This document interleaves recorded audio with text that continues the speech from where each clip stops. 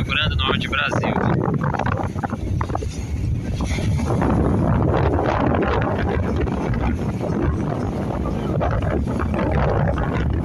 A maré hoje está muito forte.